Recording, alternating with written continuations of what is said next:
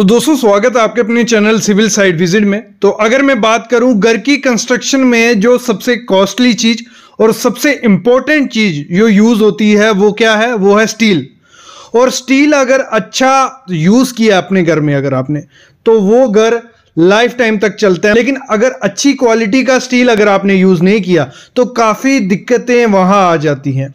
और आपको पहचानना कैसे है कि कौन सा स्टील अच्छा है, कौन सा बुरा स्टील है?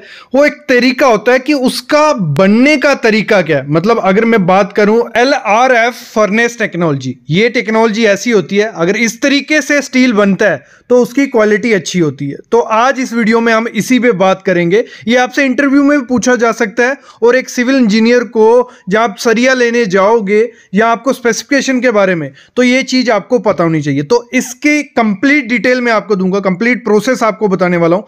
लेकिन उससे पहले, सबसे पहले मैं बता दूँ एलआरएफ है क्या? वो होता है लेडल रिफाइनिंग फर्नेस देखो, अगर आप अपने घर की कंस्ट्रक्शन कर रहे हो, भले बिल्डर हो तो आपको ज़रूर पता होना चाहिए कि स्टील प्रोड्यूस कैसे होता है। देखो, उसी से हमें आइडिया लगेगा कि वो स्टील अच्छा है कि नहीं अच्छा है। उसकी क्वालिटी भी वैसे हम चेक कर सकते हैं। अगर कोई भी टीएमटी बार है तो वो अच्छा है घर की कंस्ट्रक्शन के लिए कि नहीं, उसका कैसे पता चलेगा? उसके प्रोडक्शन के प्रोसेस से।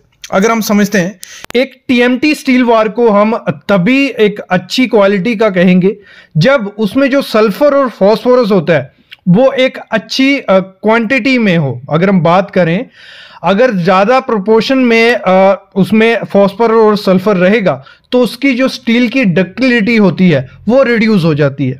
और आ, अगर डक्टिलिटी रिड्यूस हो गई तो काफ़ी दिक्कत आ जाती है फ्यूचर में आपके घर पे या उस स्टील में। देखो सिंपल भाषा में मैं समझाता हूँ। डक्टिलिटी काफ़ी बच्चों को नहीं समझ आएगा, या नॉन टेक्निकल पर्सन है जो उसको नहीं समझ आया होगा। डक्टिलिटी क्या हो गया हमारा?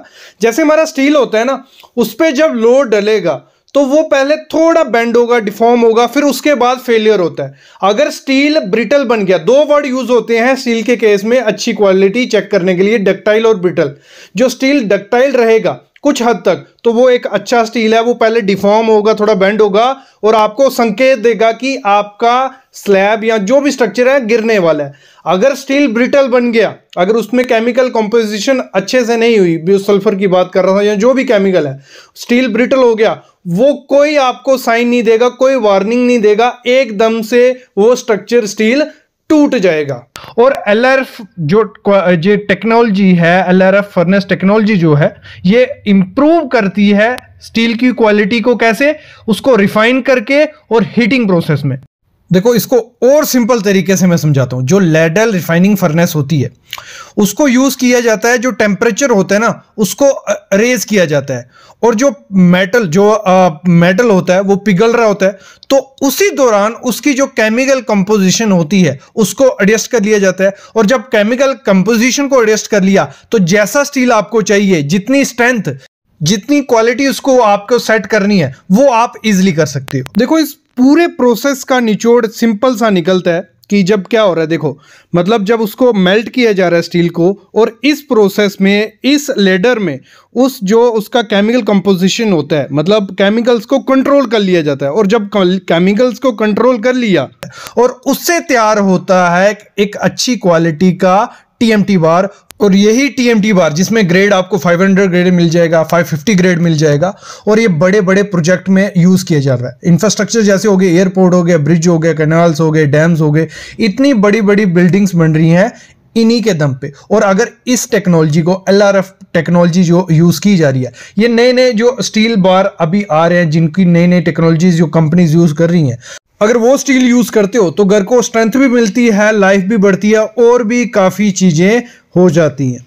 अब क्या करते हैं, इसको समझते हैं, जो एलआरएफ टेक्नोलॉजी है, इससे क्या इंप्रूव होता है सरिये में, वो समझते हैं।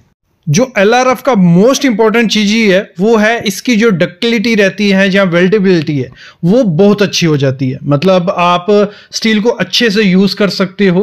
प्रॉपर उसमें जब कोई भी अगर लोड पड़ता है या कुछ दिक्कत आती है तो जो जल्दी वो फ्रैक्चर नहीं होगा स्टील जब हम बेल्ट करते हैं तो कुछ उसमें दिक्कत नहीं आएगी इतनी जल्दी। जो स्टील एल टेक्नोलॉजी से बनता है तो वो एक अच्छा टीएमटी स्टील बार निकलता है। मतलब हाई क्वालिटी डी ग्रेड का जो डक्टाइल स्टील इस समय है, क्योंकि वो ये जो एलआरएफ टेक्नोलॉजी है, वो फॉलो करती है येस कोड 1786 उसके हिसाब से पूरा कंपोजिशन बनता है, पूरे केमिकल जो कंपोजिशन रहती है, वो पूरी कंट्रोल वे से की जाती है और एक अच्छा स्टील बन के निकलता है। और इसी में मैं एक बात जोड़ता हूँ, जो इसी टेक्नोलॉजी से, एलआरएफ टेक्नोलॉजी से स्टील बनता है इस समय। वो है Maithon steel T M T six hundred grade. तो ये जो स्टील है, वो इसी टेक्नोलॉजी से बनाया जा रहा है और लार्ज क्वांटिटी में इस समय बड़े बड़े इंफ्रास्ट्रक्चर्स में ब्रिजेस में मॉल्स में ये यूज़ किया जा रहा है। और देखो, मैथन स्टील जो है, इसी जो एलआरएफ टेक्नोलॉजी है इसी प्रोसेस से बन रहा है तो इसमें जो 600 ग्रेड बनता है टीएमटी बार का, वो एक अच्छा रिज़ल्ट देता है। इस पर एक वीडियो में पहले भी लाया था मैथन स्टील पे, अगर आपको उसके बारे में और जानना है मैथन स्टील के बारे में, उसमें मैं डिस्क्रिप्शन में वीडियो डाल दूँगा, जिसमें मैंने कंप्लीट डिटेल मैथन स्टील के बारे में दी थी, और एक अच्छा प्रोडक्ट इस समय कंस्ट्रक्शन में यूज़ किया जा रहा है। काफ़ी कंपनीज़ इसको यूज़ कर रही हैं तो अगर आप सोच रहे हो घर की कंस्ट्रक्शन में तो आप इसको एक अपना ऑप्शन बना सकते हो।